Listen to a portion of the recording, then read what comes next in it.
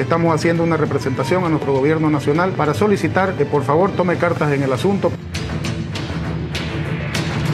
No nos han convocado a esa reunión, por lo tanto nosotros eh, nos vamos a topar en el lugar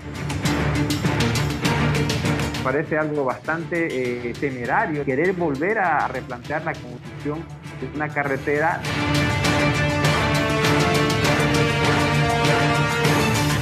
El gobernador del Beni, Alejandro Unzueta, abrió nuevamente el debate sobre la necesidad de retomar la construcción de la carretera por el territorio indígena Parque Nacional Isiboro Secure que une Beni y Cochabamba, donde lamentablemente las comunidades originarias no fueron tomadas en cuenta. Estamos formando ya la comisión para reactivar la construcción de la carretera hasta Cochabamba, puesto que tendríamos una solución importante para nuestro departamento. Nuestras autoridades departamentales, municipales, ganaderos, transportistas, ellos se han reunido, pero no los han convocado para el tema del diálogo entre las coordinaciones que tendríamos que hacer.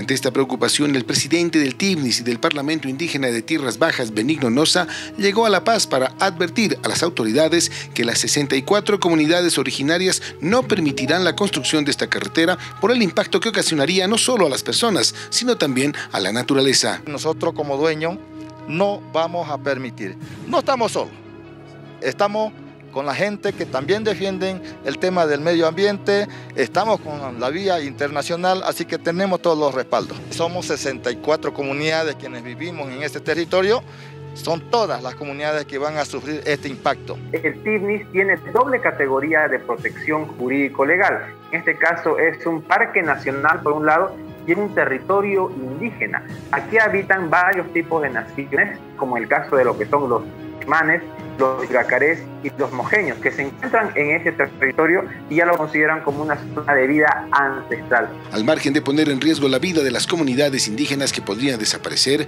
el impacto al medio ambiente es incalculable porque se afecta toda la biodiversidad en esa región. El TIBNIS es uno de los lugares más húmedos de toda Bolivia. Ahí se concentra gran cantidad de producción de agua. Por consiguiente, una afectación a lo que vendría a ser el corazón de este parque sería catastrófico para, el ciclo de producción de agua dentro de lo que vendría a ser los ecosistemas de esta zona. La parte de la biodiversidad, flora, fauna y otro tipo de organismos que existen en el fitness. Por consiguiente, el grado de afectación también sería muy fuerte, tomando en cuenta que en este lugar hay especies muy sensibles, muy importantes para lo que es la conservación y sobre todo la biodiversidad a escala nacional. Otro factor también que es importante tomar en cuenta es el daño que se realizarían a los suelos. Si se abre esta carretera la expansión dentro de lo que vendría a ser eh, la parte agrícola ilegal en el TIMNIS sería evidente, ¿no? Y sería otra vez colapsado.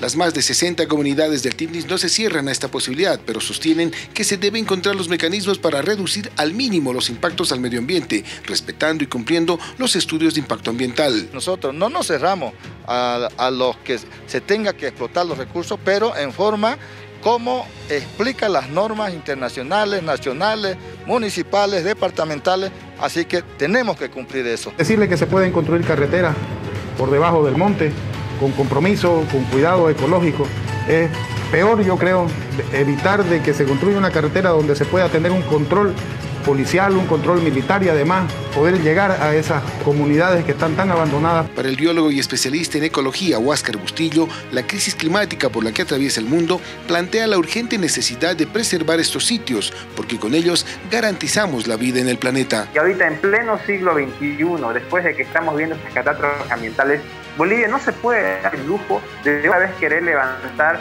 un proyecto tan temerario, ¿no? Como lo que es esta carretera que parte en dos, uno de los ecosistemas más ricos del mundo, porque estamos viendo la necesidad de una protección inherente de nuestros recursos naturales, de nuestra biodiversidad en estos tiempos en donde estamos viendo ya varios tipos de catástrofes ambientales.